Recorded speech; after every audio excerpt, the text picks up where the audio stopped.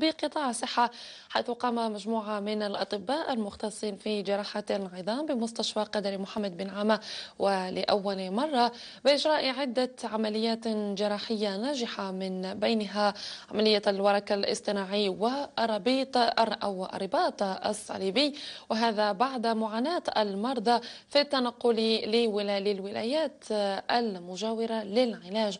هو إنجاز وخطوة استحسنها المرضى. ولكن من شأن عنها رفع من القطاع المحلي الصحي. مصطفى دحاوي رصد التالي.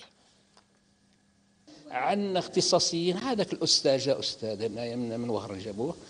ومع الاختصاصيين الحمد لله. يستعملوا مع المريض كما ينبغي. قلت الحمد لله. كي قالوا لي في النعمه يجوا اختصاصيين ما ما ضيعش دقيقة كاع. donc هذا ال matériel المختص بجراحه العظام لأول مرة في في ولاية النعامة. رانا نديروا العملية الجراحة المختصة بالركبة ال genou prothèse. donc euh, في المجمع الجراحي عندنا ثلاث أطباء آه، مختصين في العظام.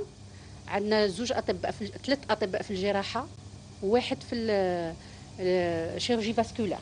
يعني العمليات اللي قمنا بها هي عمليات يعني نادرة ويعني آه، قاموا بها الفريق الطبي التابع للمؤسسة الشفائية نعمة وهي عبارة يعني عن تقريب للخدمة للمواطن يعني ومن جهة ومن جهة أخرى هي عمليات تخص يعني آه، la prothèse de genou prothèse de la hanche وبعض العمليات ذات يعني آه، مدققة بالمنظار